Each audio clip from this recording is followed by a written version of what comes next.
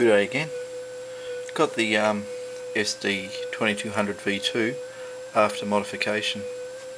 Well, some mods, I can do more but uh, we'll just uh, get this one over and done with. Remember the um, small gold target I did on the previous uh, video? Give you an idea how well this goes now. I'll try again.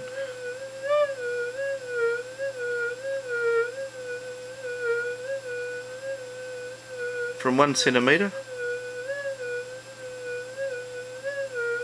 I'm getting a good good signal at about nine centimetres. Now for the ring. Remember the ring? That's the camera getting near the coil, so we'll get away from it. Ring.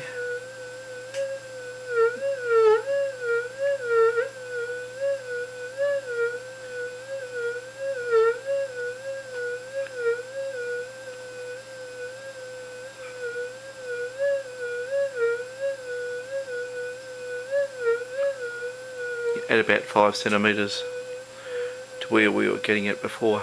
Actually it's probably a bit more because it was under the ruler height. So actually at ruler height it should be a screaming signal. Go back through the videos and have a look and uh, you'll see that's a massive improvement. Anyway, there you go. That's a modified SD 2200 V2 catches.